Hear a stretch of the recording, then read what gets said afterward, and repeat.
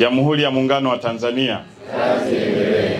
Naomba kwanza nimshukuru Mwenyezi Mungu kwa kunipa fursa mimi pamoja na ujumbe nilioambatana nao kufika hapa Chalinze na kwa heshima hii ambayo mmenipa ya kuweka jiwe la msingi kwenye nyumba ambazo zimejengwa kwa ukisasa kabisa kwa ajili ya wakuu wa idara na wakuu wa vitengo. Niwashukuru sana kwa heshima hii ambayo mmenipa. E, nitumie nafasi hii pia kumshukuru Mheshimiwa Rais wetu jemedali mpendwa wetu Dr. Samia Suluhu Hassan kwa kuleta fedha kwa ajili ya kujenga nyumba hizi, kuwasaidia wakuu wa idara na wakuu wa vitengo kuishi mahali pazuri. Nimepita kwenye nyumba hapa, nimeangalia e, e, ubora wa ujenzi, ramani. Hata mimi mwenyewe nikatamani nihamie Chalinze niishi hapa. Kwa hiyo nitumie nafasi hii niwape hongera sana wale ambao mtapata fursa ya kuishi kwenye hizi nyumba. Kwa kweli nawapongeza, na mimi nilivyofika kwenye mazingira haya nikatamani nirudi kwenye miaka hiyo, wakati na mimi ni mtumishi ndani ya serikali kwa levo zenu. Nilita, nilitamani sana yani na mimi nipate kuishi mahali pazuri kama hivi. Kwa hiyo hongereni sana, don't take it for granted. Mheshimiwa Rais anazidi kufanya kazi nzuri, lakini pamoja na majukumu yote, mnaona hata kwenye upande wa hali ya maisha ya watumishi wetu, kwa kadri inavyowezekana, serikali anayoiongoza inazidi kuweka mazingira mazuri kwa watumishi. Niseme baada ya kuangalia hizi nyumba, kwa upande wa Wizara ya Ujenzi tuna taasisi ya TBA, Tanzania Building Agency na niliwaelekeza kwamba pamoja na kuwa custodian wa nyumba za serikali kote nchini, lakini tuwa wabunifu kwa kutafuta teknolojia ambayo itajenga nyumba za watumishi kwa gharama nafuu.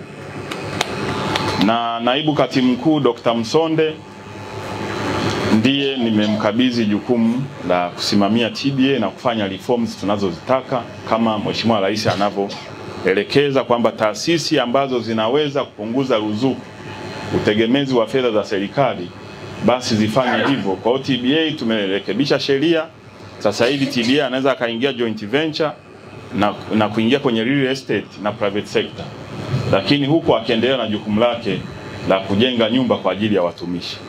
Sasa namwelekeza naibu katibu mkuu Dr. Msonde, na bahati nzuri alikuwa TAMISEMI, anajua mifumo ya TAMISEMI ilivyo afike hapa Chalinze aangalie model ya nyumba hizi, alafu tuangalie ndani ya TBA namna tutakavyojipanga kuendelea kushirikiana na halmashauri, manispaa na majiji kuendelea kujenga nyumba za kisasa zenye gharama nafuu kwa ajili ya watumishi ndani ya serikali. Kwa hiyo Chalinze mlichokifanya ni, ni jambo kubwa, nimependezwa nalo.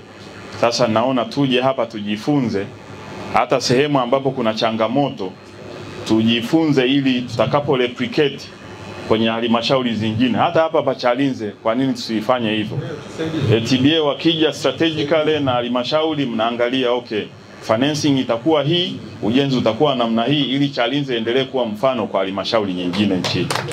Nipongeze sana Mheshimiwa mkuu wa mkoa e, serikali ya mkoa ya wilaya kwa maana ya halmashauri, mheshimiwa mwenyekiti wa halmashauri, nimpongeze mheshimiwa waziri rafiki yangu mheshimiwa Ridhiwani Kikwete kwa kweli eh, kwa taarifa ambazo nimezipata za utekelezaji wa miradi ya maendeleo katika kutekeleza ilani ndani ya halmashauri ya Chalinze, mambo yanakwenda vizuri sana, mmejipanga kimkakati na mambo mazuri yanajionyesha, wala hayahitaji kuambiwa. Unaona kabisa halmashauri imetulia, mkurugenzi na wakuu wa idara mnafanya kazi nzuri, na watumishi wa halmashauri mnafanya kazi nzuri, hongereni sana.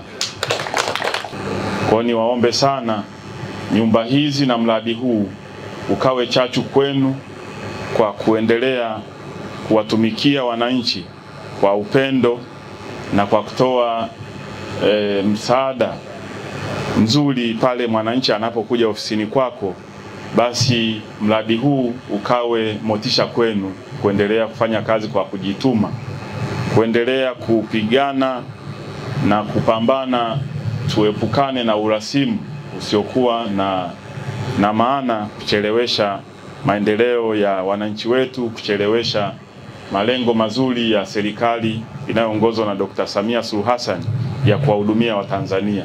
Naomba nyumba hizi zikawe motisha kwenu kuendelea kuwa watumishi wema wanaotoa huduma nzuri kwa wananchi wetu. Mheshimiwa Waziri, mradi wa ujenzi wa nyumba sita za wakuu wa idara ulianza rasmi tarehe 17 Oktoba 2022 na ilikamilika tarehe 17 mwezi wa pili 2023. Aidha, mradi wa nyumba mbili ulianza tarehe moja mwezi wa tatu 2024 na tulitarajia ukamilike tarehe moja mwezi wa tisa 2024. Mradi huu umetekelezwa kwa njia ya force account na fundi anayeitwa Morris Joseph Makoi kwa mkataba wa shilingi milioni 207,690. Mpaka sasa ujenzi wa nyumba sita umekamilika kwa asilimia 98 ambapo kazi zilizobakia ni pamoja na uwekaji wa vioo katika milango katika nyumba tano, kuunganisha mfumo wa maji safi, japokuwa maji yameshafika, ni kuunganisha katika kila nyumba na pia kuunganisha mfumo wa umeme. Mpaka sasa tumekwisha kutumia shilingi milioni 960, 505, 891 na senti 12. Mafanikio. Mheshimiwa Waziri, halmashauri imeweza kukamilisha nyumba nane nyumba sita samahani zilizokusudiwa ambao wakuu wa idara wataweza kuzitumia na kupunguza kutembea umbali mrefu kwenda ofisini. Pia ujenzi wa nyumba hizi zimesaidia halmashauri kuokoa kiasi cha, cha fedha walichokuwa wanalipwa wakuu wa, wa idara kwa ajili ya pango la nyumba kwenda kufanya shughuli zingine za maendeleo.